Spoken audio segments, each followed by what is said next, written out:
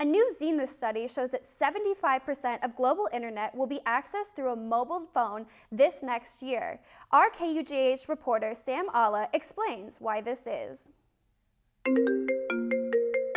Smartphones are on the rise. A study from Zenith analyzed 60 countries and found that 56% of the world population owns a smartphone. So it's not shocking to say that 74% of US internet access will be from a mobile phone this next year. Mobile is becoming the one stop shop for all things. Social media, um, that's how my roommates pay rent. For when I have to pay rent, that's how they send money to me. Um, and I use it to get the news, pretty much everything. News on your phone? That's crazy talk. Well, not exactly. Many news outlets are now adapting to the change. I didn't have to go far. KUJH's next door neighbor, the University of Daily Kansan, are making changes as we speak. Um, right now, we're actually doing a website redesign to make our site responsive, um, kansan.com.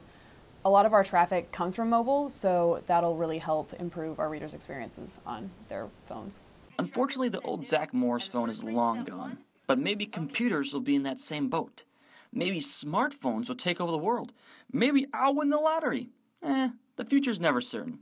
But as of right now, mobile internet access is on the rise.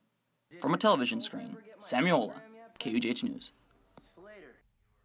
And that study predicts that 83% of the U.S. internet access will be mobile in 2018.